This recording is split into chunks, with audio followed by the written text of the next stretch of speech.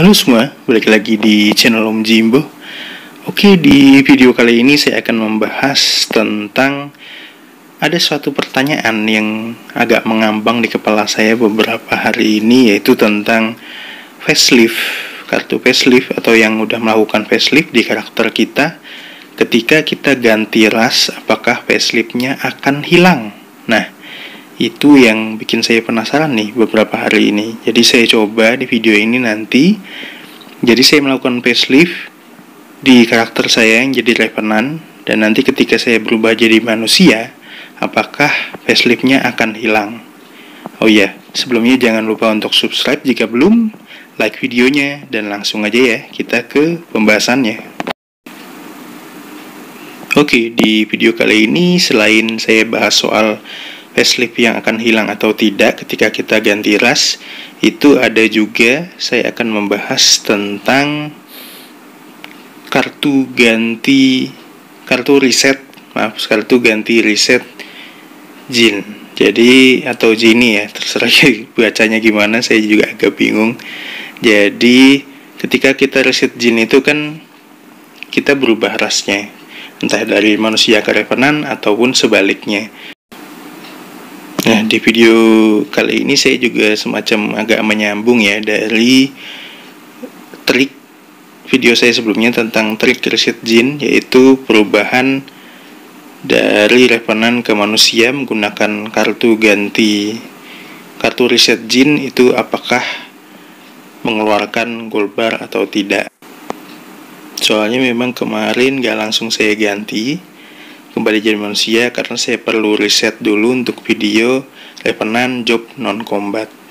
Nah, ini saya udah bawa kartu ganti Jin Transformation Cardnya dan ini langsung aja ya sepertinya kita coba karakter saya yang Revenant ini dikembalikan menjadi human. Nah, sini ada peringatan. Jadi kalau di Revenant kita itu jobnya Sport Trapper otomatis akan berganti jadi virologis. Dan juga hari itu ketika hari itu kita berganti asisten quest atau daily itu akan gugur atau tidak aktif. Jadi selesaikan dulu sebisa mungkin baru dailynya baru setelah itu kita ganti jadi ras satunya. Nah ini saya ganti dan dikembalikan ya e, kapsul dan juga serum enhancement yang sudah kita masukkan di jin karakter kita jin modification. Dan ini saya udah kembali jadi manusia itu sudah nggak ada lagi bunganya ya di pundak. Dan kalau dilihat lagi faceliftnya masih tetap.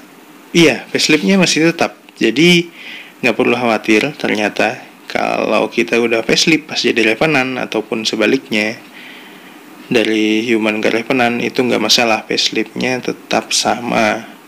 Jadi kita nggak perlu nggak perlu lagi beli kartu facelift.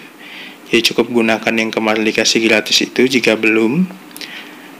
Dan saya tadi sebenarnya penasaran dan takutnya itu kan ketika kita berubah dari ras satunya dari human revenant dan sebaliknya itu mukanya reset gitu. Padahal kan udah capek-capek ya kita bikin muka yang custom dengan kartu facelift itu oke sepertinya itu dulu video kali ini dari saya. Jadi nggak usah panjang-panjang. Emang cuma sekedar membagikan aja membagikan rasa penasaran saya dan siapa tahu memang ada beberapa dari kalian yang penasaran juga untuk tahu soal informasi yang saya bagikan ini. Semoga berguna dan bermanfaat bagi kalian dan jangan lupa juga untuk subscribe jika belum dan like videonya jika suka. Terima kasih sudah menonton, sampai jumpa di video-video berikutnya. Jimbo out. Bye bye.